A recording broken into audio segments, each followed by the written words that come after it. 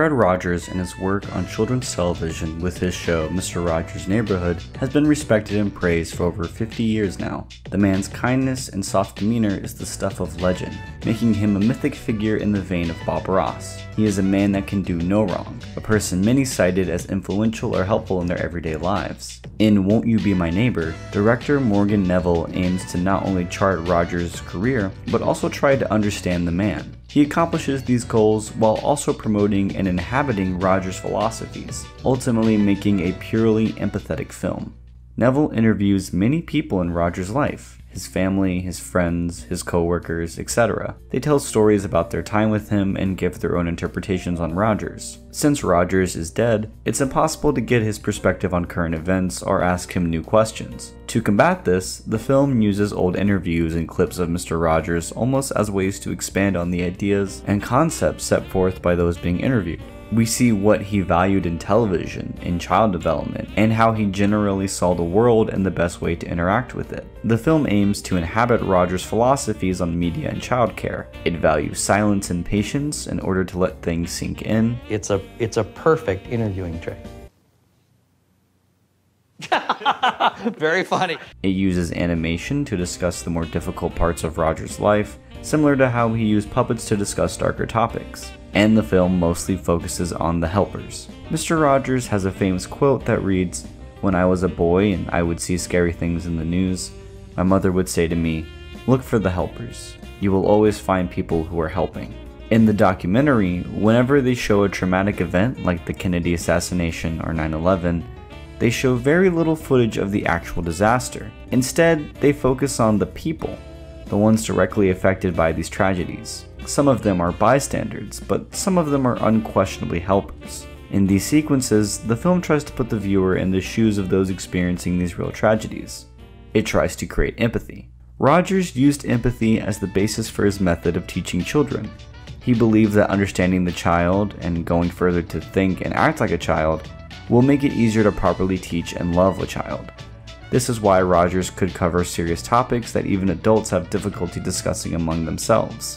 He discussed death, war, divorce, racial inequality, you name it. He always believed that a child could handle these topics, but only if they were presented in the right way with plenty of room for discussion. He valued talking, and most importantly, listening to children. When children simply absorb media, be it news on violent acts or toy commercials glorifying that same violence, it's important to understand how this psychologically affects children. When watching TV from the 60s to the early 2000s, you could always find someone that was thinking about the child in these strange and dire times. You could always find a helper in the overcrowded children's television space.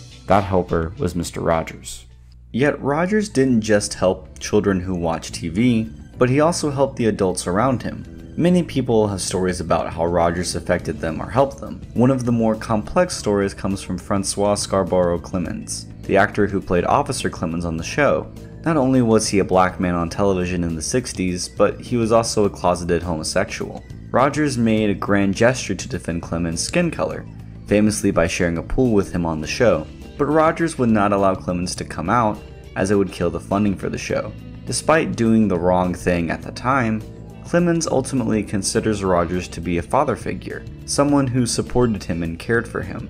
While of course people are complex and can change their opinions over time, I was struck by how despite Rogers hurting him by denying him a part of his identity, Clemmons still respected and valued him. I think this plays into Rogers' dedication to practicing empathy in every part of his life. Even though he may have hurt Clemmons at the time, he still didn't treat him differently. He still valued him in all other aspects of his life. He respected his music career and supported him being on the television show and any of his other endeavors. As this part of the film shows, Mr. Rogers wasn't perfect, but he always tried to make up for it, continuing to love and care for those he may have hurt. The helpers in Rogers' life were his friends, his family, his crew, etc. The helpers in their lives included Mr. Rogers. Children aren't the only ones that need help, need someone to talk to, or need support. Humans need helpers all their lives.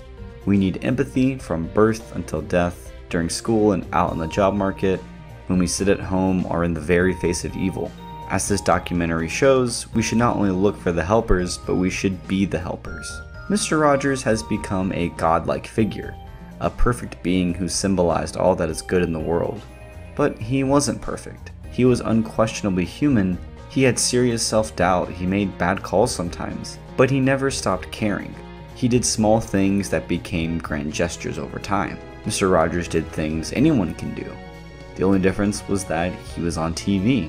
And just like everyone else, Rogers needed helpers too, to reaffirm the positive effects he had on society and to encourage him to keep going. By making the film reflect Rogers' show and philosophies, Neville helps to not only demystify the man, but also dispel the impossibility of his beliefs.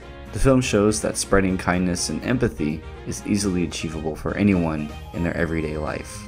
Won't You Be My Neighbor ends with the interviewer asking various interviewees to think about someone that has helped them in their lives. The film lingers on their faces, not only letting them think, but giving the viewer a chance to as well.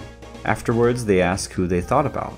This moment always brings me to tears because I know I would not be where I am or who I am without the many family and friends who believed in me. I want to be a helper, and I want the world to help each other out. Hopefully, many years from now, we'll all have someone who will look back and think about the positive impact we've had in their lives. We can't all be Mr. Rogers, but we can all be someone's Mr. Rogers.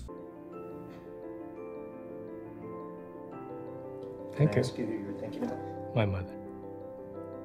How I got to this point because it was my grandfather's doing.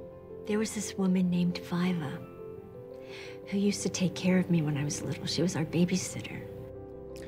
I thought about Fred. How about you?